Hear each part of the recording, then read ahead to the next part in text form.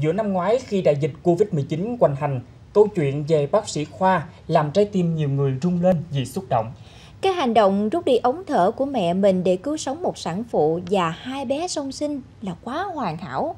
Hoàn hảo đến mức ngay cả người lý trí nhất cũng bị cuốn vào những lâm ly bi đát. Và rồi rơi nhiều nước mắt cho câu chuyện này. Nhưng cuối cùng, tất cả ngã ngửa vì mọi thứ chỉ là hư cấu. Mới đây, Công an thành phố Hồ Chí Minh phát đi thông báo tìm nạn nhân quyên góp tiền cho nhóm từ thiện lừa đảo dưới danh nghĩa bác sĩ Trần Khoa. Cơ quan cảnh sát điều tra công an thành phố Hồ Chí Minh đang điều tra xác minh tin báo và hành vi lừa đảo chiếm đoạt tài sản do Nguyễn Thị Minh Thi, 24 tuổi, ngụ tỉnh Bến Tre cùng đồng bọn thực hiện.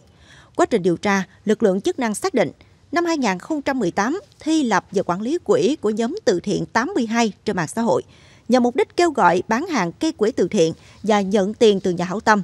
Đến ngày 7 tháng 8 năm ngoái, thành viên Trần Khoa của nhóm này đăng bài viết về câu chuyện bác sĩ Trần Khoa rút ống thở của mẹ bị nhiễm Covid-19 nguy kịch để nhường sự sống cho sản phụ sắp sinh và thực hiện mổ bắt con thành công. Câu chuyện lập tức được chia sẻ với tốc độ chóng mặt trên mạng xã hội với nhiều bình luận tiếc thương, xót xa. Nhiều cá nhân, tổ chức ủng hộ tiền, tài sản cho Thiên nhóm từ thiện 82, bác sĩ Trần Khoa, rồi bị nhóm này chiếm đoạt. Sau đó, công an vào cuộc xác minh, kết quả cho thấy thông tin về bác sĩ rút ống thở của người nhà để nhường máy thở cho mẹ con sản phụ là hư cấu. Nhiều tài khoản cũng bị xử phạt vì hành vi chia sẻ các câu chuyện bị đặt này.